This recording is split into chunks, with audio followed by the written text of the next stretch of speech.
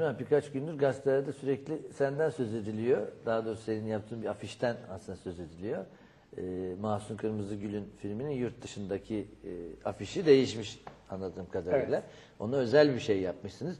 Bu e, afiş, film afişleri böyle ülkeye göre, kıtaya göre böyle değişir mi?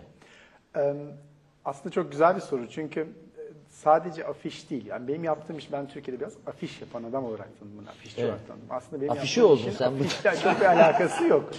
Yani e, afiş yaptığımız işlerden sadece bir tanesi. Hmm. Kimi projeler bize gelen, kimi projeler mesela sadece gazete ilanlarını yapıyorsunuz. Kimi Hmm. zaman sadece DVD'lerini yapıyorsunuz. Kimi zaman sadece market afişlerini yapıyorsunuz. Ama özünde pazarlanacak olan filmin bir market afişi vardır. Yani piyasaya çıkmadan önce aslında distribütörlerin satın aldığı afişler.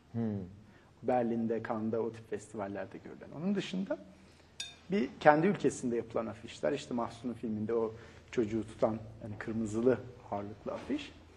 Bunun dışında bir de uluslararası afişleri var. O uluslararası afiş de marketine göre değişebilir. Mesela e, diyelim ki Pearl Harbor filmini satacaksınız. E, doğal olarak Japonya'daki afişi Japonlar ölürken değil. değil. Başka türlü orada romantizmi öne çıkartmak zorundasınız. E, ama şeyde Amerika'da satarken hani Pearl, Pearl Harbor şey. filmi Japonya'da oynadı mı sen? Oynadı tabii. Oynadı Onu da sormuştum. Yani. Ya, oynadı. Doğal olarak da orada hani ağırlıklı olarak böyle bir e, uluslararası festivallerde çünkü bu filmin çok bir e, şansı olacak. Farklı bir kültüre ait bir şey sunuyor. Yani bir box office, bir gişe beklemiyoruz şeyde e, uluslararası markette. Zaten hani Almanya'daki ya da işte Türklerin yoğunlukta bulunduğu Avrupa piyasasından bir gişe aldı. Ama bunun dışında e, uluslararası gösterimleri ağırlıklı olarak festivallerde olacak ve bu konu da özellikle afişteki o hani e, hani bir e, Müslüman ülkedeki bir İslam'ın olduğu bir ülkedeki e, bir travestinin Evet arkada camiler falan da orada vurgulanıyor. o- o daha çarpıcı tabii ki. O bir bir o bir e, bir kulvar. O kulvarda yarışıyor olmak e, daha doğru. Senin esas işin e, art direktörlük, grafikerlik, bütün bu tasarımları başka şeyler için de yapabilirsin. Yani mesela Tuna'nın kitabının kapağını da Nermin Hanım'ın yapabilirsin. Yahut Hande'nin bir şeysini, albüm kapağını tasarlayıp. Ama daha da genel yani onun mesela bütün imajını e, nasıl çıkacağını, başka fotoğraflarının nasıl çekilmesi gerektiğini falan o tür büyük bir projeyi de yapıyor musun? Tabii e, şimdi son dönemde tabii sinemayla tanınıyorum ağırlıklı olarak. Fakat bizim yaptığımız iş bununla, e, bunu, bu sadece küçük bir bölümü diyebilirim rahatlıkla. Mesela e, Türkiye'nin uluslararası e, turizm kampanyasındaki e, ikinci büyük marketin reklam ajansıyım ben. Ee, onun dışında mesela önümüzdeki sene e, Dünya Basketbol Turnuvası Türkiye'de yapılacak. Ee, FIBA tarafından, yani Uluslararası Basketbol Federasyonu tarafından bunun Türkiye'deki pazarlaması ile ilgili reklam ajansıyım. Bunun dışında dünyada üç büyük dine e, web sitesi tasarlamış tek tasarımcı. Bir Kabala'yı gördüm sadece. Kabala var. Evet. Peşinden Kabala'dan aldığımız ödülle Yunan Amerika'daki Yunan Ortodoks Kilisesi. Onu da gördüm tamam doğru. O, o çok büyük bir site. Yani Türkiye'de tabii biz hani Patrikhane'den dolayı çok bilmiyoruz ama şeyde Amerika'da çok güçlü e, Yunan Ortodoksları ve e, günde 5-6 bin kişinin hit ettiği e, günlük e, şeylerin olduğu, işte duaların olduğu falan dev bir site. Ondan sonra Webby Awards'da da ki Webby Awards bir internetteki önemli alanlardan bir tanesi, ödüllerden bir tanesi. Orada ruhani dalda birincilik aldık onda. Hani O çok önemli çünkü neden? internet gibi bir ortamda ruhani bir his yaratmak zor bir şey. Evet. Yani daha teknolojik gibi bir şey olduğu zaman o daha hani ona yakın zaten. Ama orada böyle bir ruhani şey yaratmak çok zor. O yüzden ben onu önemsiyorum. Peşinden de burada e, Meridyen Destek Grubu özellikle bu Danimarka'daki e, peygamber karikatürleri krizinden sonra böyle bir peygamberi tanıtan e, böyle 600-700 sayfalık dev bir web sitesi yapmak istedi. Son peygamber.net'le de e, öyle bir çalışma yaptık. E, bayağı da Cennette güzel bir şey garanti gözüküyor. İnşallah. Emin değiliz. Bilmiyoruz teknoloji orada nasıl karşılanıyor. Onunla da Dubai'de bir şeyde yani Hz. Muhammed'i tanıtan en iyi medium yani kitaplar, belgeseller, Evet, evet. programlar arasında onun birincilik ödülü. Diyarbakır'da doğdum bildiğim kadarıyla. Hayır ben An- Ankara'lıyım. Öyle mi? Pardon. Doğru Diyarbakır'da doğdum doğru doğru. Doğru pardon.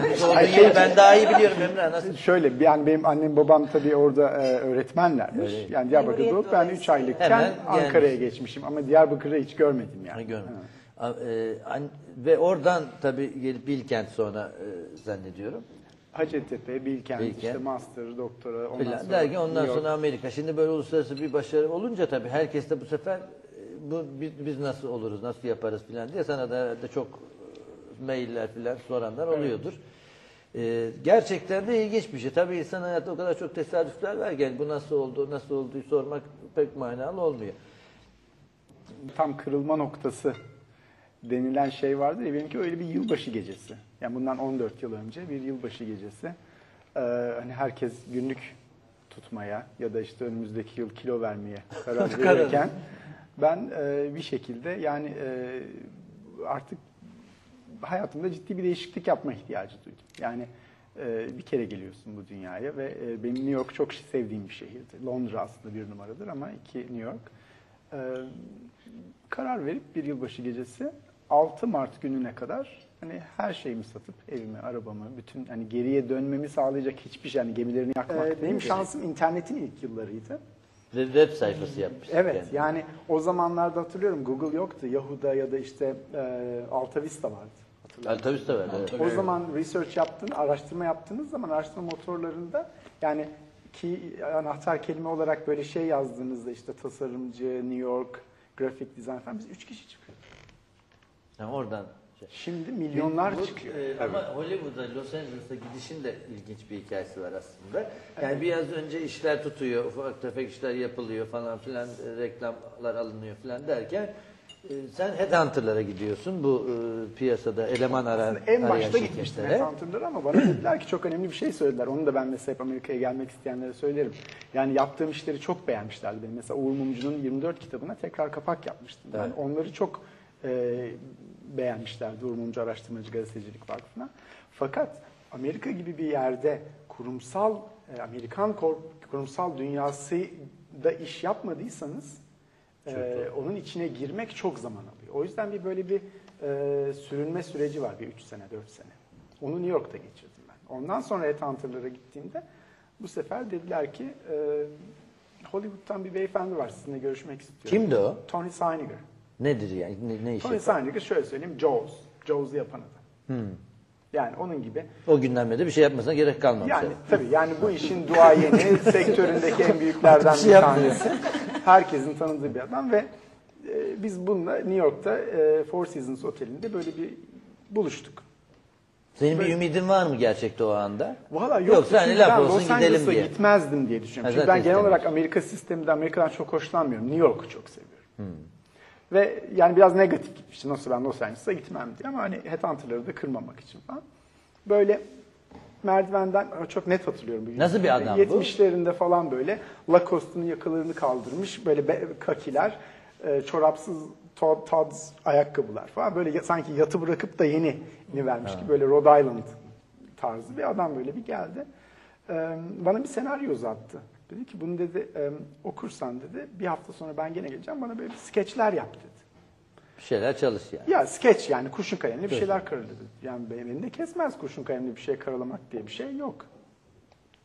Aldım ben senaryoyu. O akşam okudum. Bir Hangi hafta filmin sonra- senaryosu bu? Chill Factor. Cuba Gooding Jr.'la Skeet Ulrich'in bir aksiyon filmi. Kötü de bir film.